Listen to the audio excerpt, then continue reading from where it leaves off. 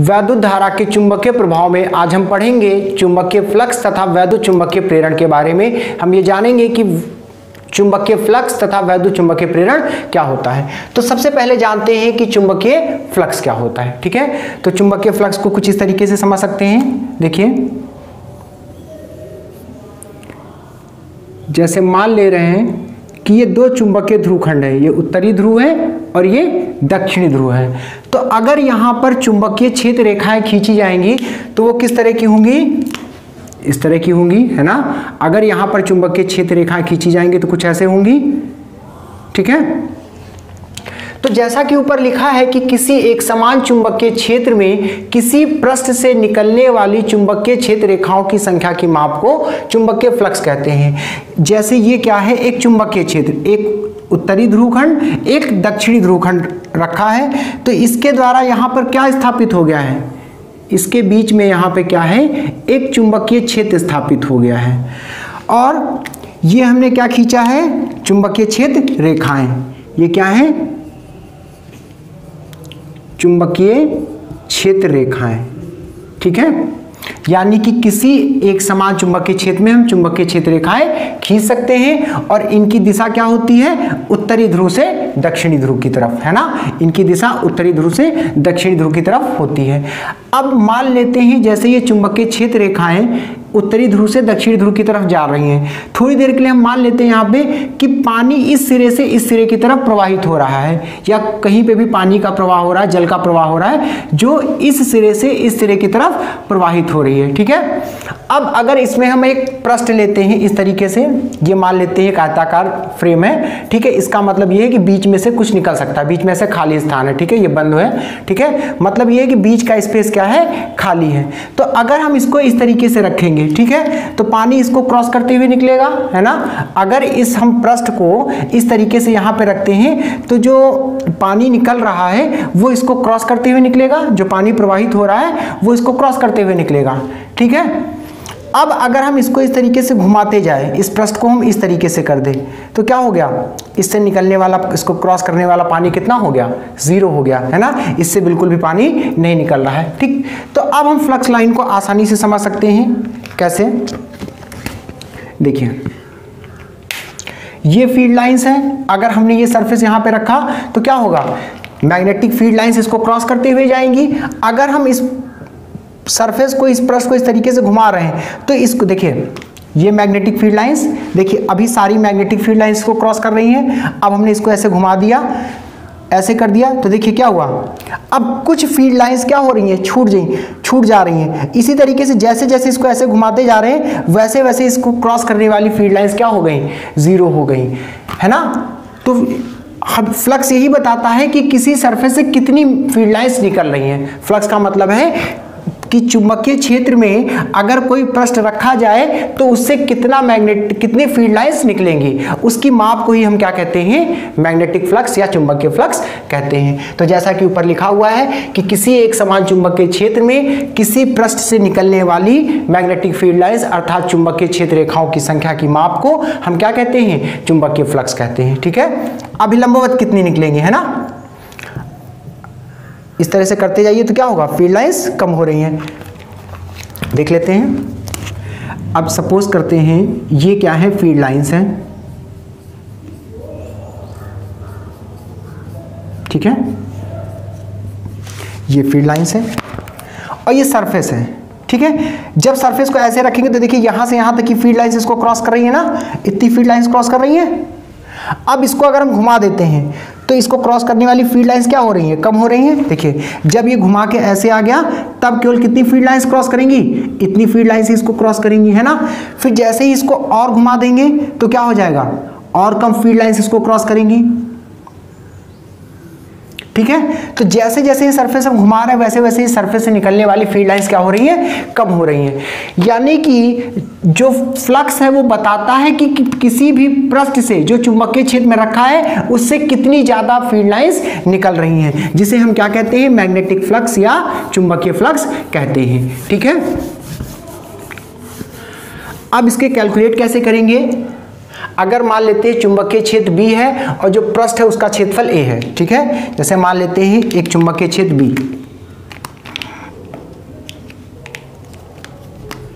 ये चुंबकीय क्षेत्र कितना है? बी ठीक है? और यहाँ पर हमने एक सरफेस रखा, ठीक? सरफेस का जो अभिलंब है वो कितना कोण बना रहा है? चुंबकीय क्षेत्र की दिशा से थीटा कोण बना रहा है। तो इससे निकलने वाला जो फ्लक्स होगा, वो होगा बी ए कॉस थीटा। ठीक है? समझ लीजिए यहाँ पे कि अगर चुंबकीय क्षेत्र की दिशा से पृष्ठ का अभिलंब थीटा कोण बनाता है तो निकलने वाला फ्लक्स कितना होता है? बी ए कॉस थीटा होता है। ध्यान दीजिएगा यहाँ पे यहाँ पे थीटा पृष्ठ और बी के बीच का कोण नहीं है। थीटा पृष्ठ के अभिलंब और बी के बीच का कोण है थीटा बी और पृष्ठ के अभिलंब के बीच का कोण है, ठीक है?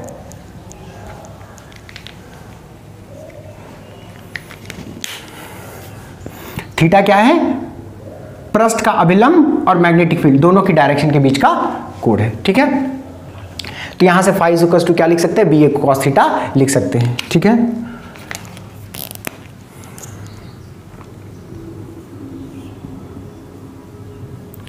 अब यदि थीटा कितना हो, ज़ीरो हो। थीटा ज़ीरो कब होगा? थीटा ज़ीरो तब होगा जब पृष्ठ को छेद के अभिलंबवत रखा जाए। जैसे मान लेते हैं मैग्नेटिक फ़ील्ड है, हम सरफेस को इस तरीके से रख दे, है ना? तो पृष्ठ का अभिलंब क्या होगा? छेद। मैग्नेटिक फ़ील्ड की डायरेक्शन में होगा, ये पृष्ठ हमने ऐसे रखा तो इसका अभिलंब इस तरीके से होगा। तो दोनों के बीच का कोण कितना हो गया? दोनों के बीच का, दोनों एक ही डायरेक्शन में तो थीटा यहाँ पे कितना हो गया? ज़ीरो। तो अगर थीटा ज़ीरो है तो इसका मतलब ये है कि पृष्ठ बी के लंबवत है। कंफ्यूज मत होइएगा कि हम कह रहे हैं कि थीटा ज़ीरो है और प्रश्न बता रहे बी के लंबवत है। तो इसका मतलब ये हुआ कि जब भाई थीटा ज़ीरो होने का मतलब थीटा क्या है? पृष्ठ का अभिलंब और चुंबकीय छेद बी दोनों के बीच का कोण है। है ना? पृष्ठ का अभिलंब और चुंबकीय छेद भी, दोनों के बीच का कोण थीटा है, वो जब ज़ीरो होगा तो इसका मतलब पृष्ठ कैसे रखा है? पृष्ठ चुंबकीय छेद के अभिलंबवत रखा है। तो इस कंडीशन में फ्लक्स क्या हो जाएगा? फाइव बराबर B A cos zero cos zero का मान एक तो फाइव बराबर कितना आ गया? बी इंटू ए यानी कि जब पृष्ठ किसी चुंबकीय क्षेत्र में लंबवत रखा होगा तो उसका जो अभिलंब होगा, वो ज़ीरो कोण बनाएगा चुंबकीय क्षेत्र की दिशा से, और इस स्थिति में निकलने वाला फ्लक्स सबसे ज़्यादा होगा। ठीक है? अधिकतम होगा। नेक्स्ट देखते हैं।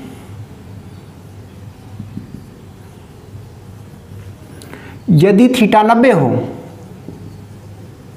यानी कि पृष्ठ चुंबकीय क्षेत्र बी के समांतर हो। पृष्ठ चुंबकीय क्षेत्र बी के समांतर हो। जैसे मान लेते हैं मैग्नेटिक फ़ील्ड और ये हो गया सरफेस दोनों समांतर है तो इसका अभिलंब कुछ इस तरीके से आएगा, है ना? पृष्ठ का अभिलंब नीचे की तरफ़ आएगा तो यहाँ पे थीटा कितना आ गया? नब्बे आ गया। तो यहाँ पे फ्लक्स क्या होगा? Phi equals to B A cos 90 cos 90 की वैल्यू ज़ीरो तो फ्लक्स कितना हुआ? ज़ीरो हुआ। यानी कि जब पृष्ठ मैग्नेटिक फ़ील्ड के समांतर होगा, चुंबकीय क्षेत्र के जो पृष्ठ जो है, चुंबकीय क्षेत्र के समांतर होगा, यानी कि उसका अभिलंब कितना कोण बनाएगा? 90 कोण बनाएगा चुंबकीय क्षेत्र की दिशा से। उस स्थिति में फ्लक्स कितना होगा? ज़ीरो होगा। नेक्स्ट नेक्स्ट देख लेते हैं कि इसकी यूनिट क्या होगी, मात्रक क्या होगा? चुंबकीय क्षेत्र का मात्रक बता चुके हैं, न्यूटन प्रति एम्पियर मीटर। और क्षेत्रफल का मात्रक क्या होता है? Metre square. कॉस थीटा एक विमाहीन राशि है है ना? उसका कोई मात्रक नहीं होता, मीटर से मीटर कैंसिल हो गया। तो कितना हो गया? मीटर से एक मीटर कैंसिल हो गया न्यूटन मीटर प्रति एम्पियर। या इसे हम क्या कहते हैं? वेबर भी कहते हैं। यानी कि न्यूटन मीटर प्रति एम्पियर जो होता है, एक वेबर के बराबर होता है। ये किसका मात्रक है? चुंबकीय फ्लक्स का मात्रक है, ठीक है?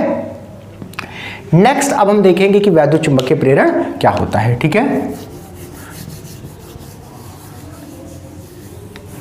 तो ये भी समझ लेते हैं। देखिए ऑर्स्टेड ने क्या बताया? कि वैद्युत धारा या गतिमान आवेश, है ना? वैद्युत धारा का क्या मतलब है? जब कहीं पर आवेश गति करता है, एक नियमित प्रवाह से बहता है तो इसका मतलब होता है कि वैद्युत धारा प्रवाहित हो रही है। या कह सकते हैं गतिमान आवेश। है ना? वैद्युत धारा या गतिमान आवेश। पढ़ चुके हैं लास्ट क्लासेस तक कि जब किसी चालक में, चाहे वो वृत्ताकार लूप हो, सीधा चालक हो परिणाल का हो, कुंडली हो तो अगर उसमें धारा प्रवाहित होती है तो वो अपने चारों तरफ़ क्या प्रोड्यूस करता है? एक मैग्नेटिक फ़ील्ड एक चुंबक के क्षेत्र उत्पन्न करता है। यानी कि वैद्युत धारा या गतिमान आवेश क्या उत्पन्न करती है? चुंबकीय क्षेत्र उत्पन्न करती है। ठीक है? पढ़ चुके हैं, सभी लोगों को ये अच्छे से क्लियर है कि किसी भी चालक में अगर धारा प्रवाहित की जाती है तो उसके चारों तरफ़ एक चुंबकीय क्षेत्र स्थापित हो जाता है। ये कॉन्सेप्ट सबको अच्छे से पता होगा। दो तीन एक्सपेरिमेंट भी इस पर हम बता चुके हैं ना, कि जैसे एक लूप में धारा प्रवाहित की जाए तो हम देखते हैं कि उसके चारों तरफ़ एक मैग्नेटिक फ़ील्ड आ जाता है। परिनालिका में जब धारा प्रवाहित करते हैं तो उसके चारों तरफ़ एक मैग्नेटिक फ़ील्ड आ जाता है। किसी सीधे चालक में धारा प्रवाहित करते हैं तो उसके चारों तरफ़ एक मैग्नेटिक फ़ील्ड आ जाता है। यानी कि ये बात बिल्कुल क्लियर है कि किसी भी चालक में अगर धारा प्रवाहित होगी, या कहीं पे आवेश गति की अवस्था में होगा तो उसके चारों तरफ़ क्या होता है? एक चुंबकीय क्षेत्र उत्पन्न हो जाता है। मतलब सीधा सा रिज़ल्ट ये है कि गतिमान आवेश या वैद्युत धारा चुंबकीय क्षेत्र उत्पन्न करती है। तो इस आधार पर फैराडे ने बताया और अपने प्रयोगों से निष्कर्ष निकाला कि बात पहले उन्होंने कुछ कॉन्सेप्ट लगाए, फिर उन्होंने अब उस चीज़ को अपने प्रयोग से प्रमाणित भी किया कि जैसे वैद्युत धारा या गतिमान आवेश चुंबकीय क्षेत्र उत्पन्न करता है तो उस तरीके से गतिमान चुंबक या परिवर्ती चुंबकीय क्षेत्र। भाई, कहीं पे अगर चुंबक गति करेगा तो धीरे धीरे वहाँ पे चुंबकीय क्षेत्र क्या होगा? चेंज होता रहेगा, बदलता रहेगा। या परिवर्ती चुंबकीय क्षेत्र क्या उत्पन्न कर सकता है? वैद्युत धारा। ठीक है? मतलब ये निष्कर्ष ये आ, उन्होंने अनुमान लगाया कि जब गतिमान आवेश या धारा चुंबकीय क्षेत्र उत्पन्न कर सकती है तो गतिमान चुंबक या परिवर्ती चुंबकीय क्षेत्र। गतिमान चुंबक या परिवर्ती चुंबकीय क्षेत्र वैद्युत धारा उत्पन्न कर सकती है। किसने बताया? फैराडे ने। कैसे? कहा कि जब वैद्युत धारा गतिमान आवेश चुंबकीय क्षेत्र उत्पन्न करता है तो इसका उल्टा भी होना चाहिए, है ना? कि जब गतिमान आवेश या धारा चुंबकीय क्षेत्र उत्पन्न कर सकती है तो कहीं पे भी अगर परिवर्ती चुंबक के क्षेत्र हो या गतिमान चुंबक हो तो उसके कारण धारा भी प्रवाहित हो सकती है। ठीक है? ये किसका रिज़ल्ट था? ये किसने बताया? फैराडे ने बताया। जिसको इन्होंने अपने एक्सपेरिमेंट से प्रूव करके भी दिखाया कि अगर हम देखते हैं किसी चालक के समीप या किसी कुंडली के समीप चुंबक के क्षेत्र में परिवर्तन होता है तो कुंडली में धारा प्रवाहित होने लगती है। इस घटना को ही हम क्या कहते हैं? वैद्युत चुंबकीय प्रेरण कहते हैं। ठीक है? देख लीजिए ऐसे। मान लेते हैं, ये एक कुंडली है। इसमें हमने एक अमीटर से इसको जोड़ के ऐसे ही रख दिया। हमने कोई बैटरी वगैरह यहाँ पे नहीं लगाई। हमने सिर्फ़ इसको एक अमीटर से जोड़ के रख दिया। अब इसके पास में हम एक मैग्नेट यानी कि चुंबक लेकर आते हैं। इसको इसके पास गति की अवस्था में जब लाते हैं, कैसा? गतिमान। गतिमान का मतलब ये इसके पास में गति कर रहा हो, इसके पास से निकल रहा हो। इस तरीके से मैग्नेट क्या हो, इसके पास से गुजरे या इस इधर से गुजरे, है ना? इस तरीके से जब कोई चुंबक क्या होता है, इसके पास से गुजरता है, इस कुंडली के पास से गुजरता है तो हमें यहाँ पे एक विक्षेप दिखाई पड़ता है। ठीक है?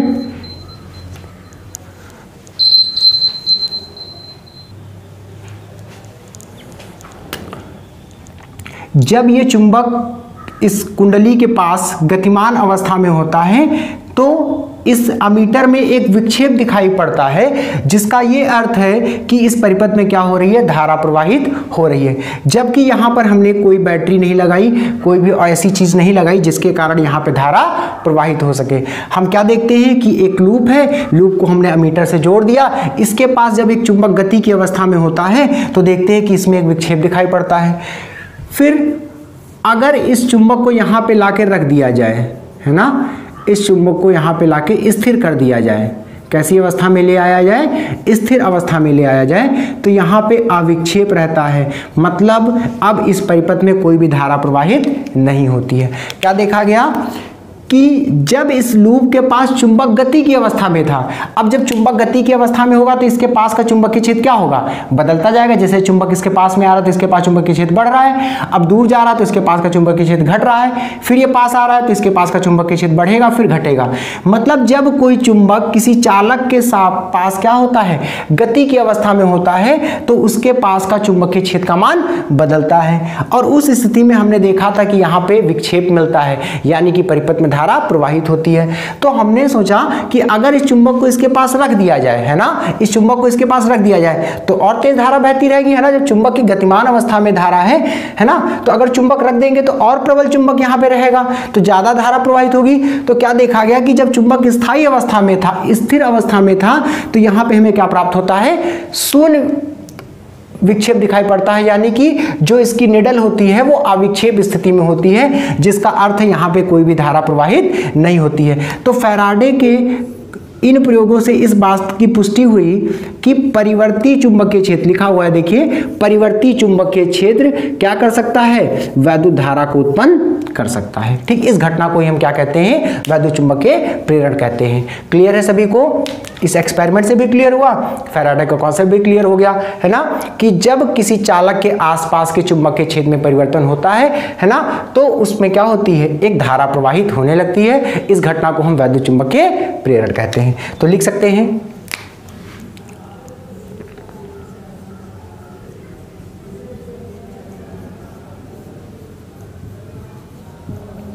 जब किसी चालक, कैसा भी चालक हो सकता है, जैसे लूप, कुंडली, है ना? परिणालिका इत्यादि, है ना?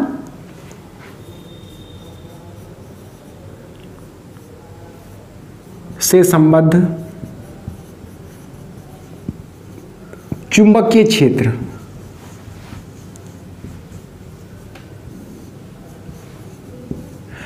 अब अगर चुंबकीय क्षेत्र में परिवर्तन होगा तो चुंबकीय फ्लक्स में भी परिवर्तन होगा, है ना?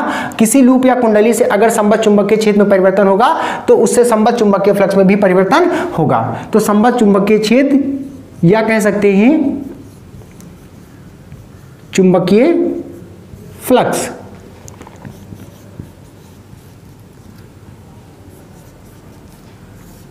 ठीक है? में, परिवर्तन होता है। तो एक प्रेरित विद्युत वाहक बल उत्पन्न होता है। एक प्रेरित विद्युत वाहक बल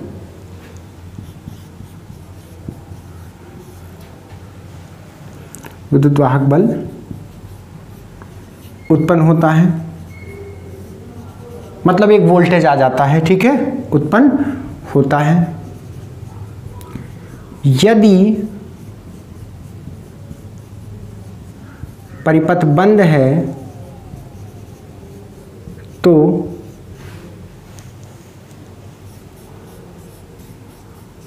परिपथ में एक धारा प्रवाहित होने लगती है।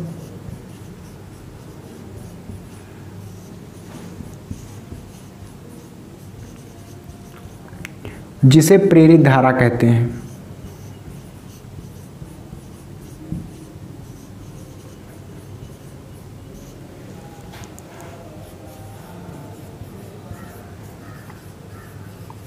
जैसा देखा यहाँ पे कि जब इसके आसपास के चुंबक के क्षेत्र में परिवर्तन होता है तो इसमें जो विद्युत वाहक बल उत्पन्न होता है, एक तरीका जो वोल्टेज यहाँ पे उत्पन्न होता है, उसके कारण इसमें एक धारा प्रवाहित होने लगती है। देखा था जब इसके आसपास, इसके पास का जब चुंबक के क्षेत्र बदल रहा था, यानी कि इसके, इससे संबद्ध चुंबक के फ्लक्स बदल रहा था तो इसमें एक धारा प्रवाहित हो रही थी। तभी यहाँ पे अमीटर क्या शो कर रहा था? विक्षेप प्रदर्शित कर रहा था, यानी कि जिसका अर्थ है कि परिपथ में धारा प्रवाहित हो रही है। इस धारा को हम क्या कहते हैं? प्रेरित धारा कहते हैं और जो घटना है जिसके कारण ऐसा हो रहा है, इसे हम क्या कहते हैं?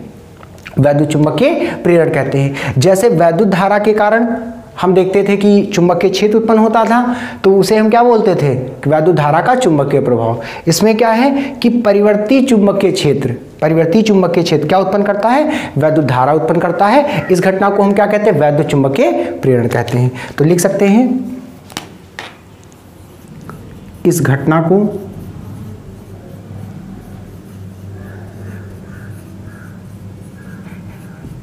को वैद्युत चुंबकीय प्रेरण कहते हैं। इस पर आधारित कुछ एग्ज़ाम्पल हैं, जैसे वैद्युत जनित्र है ना? इनको आगे हम डिटेल में पढ़ेंगे, है ना? दो टाइप के होते हैं एसी यानी कि प्रत्यावर्ती जनित्र डीसी दिष्ट धारा जनित्र ठीक है? दो तरह के जनरेटर हम पढ़ेंगे, ठीक है? अब देखिए, हमने ये यहाँ पर रिज़ल्ट निकाला कि किसी लूप या कुंडली से संबद्ध जब फ्लक्स में चेंज होगा मैग्नेटिक फ्लक्स में जब चेंज होगा तो उसमें एक प्रेरित धारा बहेगी। अब ये ज़रूरी नहीं है कि उसके आसपास का चुंबकीय क्षेत्र बदले, है ना? कुल मिलाकर उस लूप या उस परिपथ से संबद्ध मैग्नेटिक फ्लक्स में चेंज होना चाहिए, है ना? ज़रूरी नहीं कि पास का चुंबक चुंबकीय क्षेत्र बदले, है ना? आसपास का चुंबक चुंबकीय क्षेत्र भले स्थिर हो, लेकिन उस लूप या कुंडली या परिपथ से संबद्ध मैग्नेटिक फ्लक्स बदलना चाहिए, तभी वैद्युत चुंबकीय प्रेरण की घटना होगी। जैसे समझ सकते हैं, मान लेते हैं चुंबक उत्तरी ध्रुव खंड इधर रखा है और दक्षिणी ध्रुव खंड इधर रखा है। तो इनके दोनों के द्वारा बीच में क्या है? एक स्थायी चुंबकीय क्षेत्र स्थापित है। तो अगर इस कुंडली को हम तेज़ी से घुमाते हैं, इस कुंडली को हम तेज़ी से घुमाते हैं तो देखिए जब इस तरीके से है ना? यानी कि जो कुंडली का जो प्रश्न फ़र्स्ट है, वो मैग्नेटिक फ़ील्ड के लंबवत है तो इससे निकलने वाला फ्लक्स क्या है? मैक्सिमम है। अब इसको जब घुमाएँगे तो इससे निकलने वाला फ्लक्स क्या होगा? कम होता जाएगा। फिर क्या होगा? बढ़ने लगेगा, फिर ज़ीरो हो जाएगा। इस तरीके से क्या होगा? जब इसको हम घुमाएँगे तो इससे निकलने वाला फ्लक्स क्या होगा? जब इसको हम रोटेट करेंगे तो इससे निकलने वाला फ्लक्स क्या होगा? बदलेगा। अब इसके कारण क्या होगा? जब इससे संबद्ध चुंबकीय फ्लक्स में परिवर्तन होगा तो क्या होगा? इसमें एक प्रेरित विद्युत वाहक बल उत्पन्न होगा, जिसके कारण इसमें एक धारा प्रवाहित होगी, जिसे हम क्या कहते हैं? प्रेरित धारा कहते हैं। और इस घटना को क्या कहते हैं? वैद्युत चुंबकीय प्रेरण कहते हैं। नोट कर लीजिए।